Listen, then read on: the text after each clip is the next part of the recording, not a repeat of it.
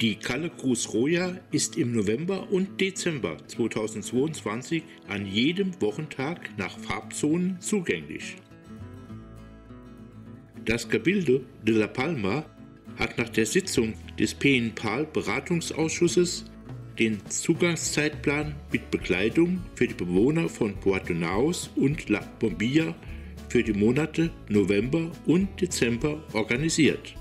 Nieves Rosa Arroyo erinnert daran, dass das Gebiet von Puerto Naos weiterhin farblich in sechs Gebiete und das von La Bombilla in vier Gebiete unterteilt wird, deren Struktur den Zugangsarten je nach Gefahr und Gaskonzentration in Haushalten entspricht.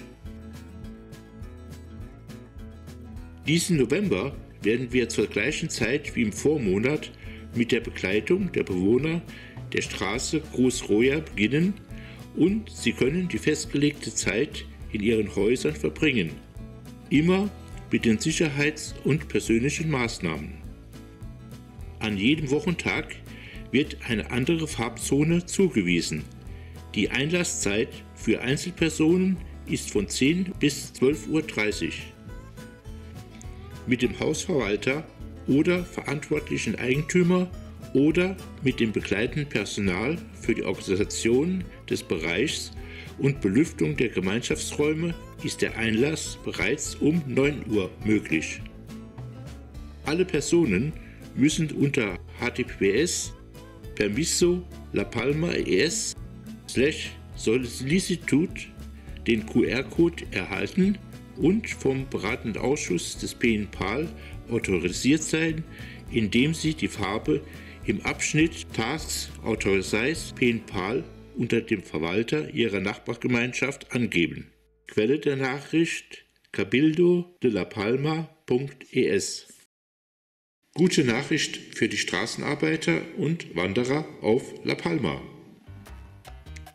Denn die Casa de Camineros, das sind Häuser für Straßenarbeiter und Wanderer in Las Manchas und Fuencaliente wurden renoviert. Am Anfang des Videos ist das Gebäude von Fuencaliente vor und nach der Erneuerung zu sehen. Von Las Manchas liegt leider nur ein einziges Foto des Hauses vor, welches später eingeblendet wird. Die Abteilung für Infrastruktur des Cabildo de la Palma stieß jetzt die Modernisierungsarbeiten und Verbesserungsarbeiten der vom Vulkanausbruch betroffenen Casa de Camineros de las Manchas ab. Der Vizepräsident des Cabildo und Minister für Infrastrukturen Perdomo hat betont, dass die Abdichtungsarbeiten am Flachdach bereits abgeschlossen sind, durch die das Wasser infolge der Wirkung der während des Vulkanausbruchs freigesetzten Asche gedrungen ist.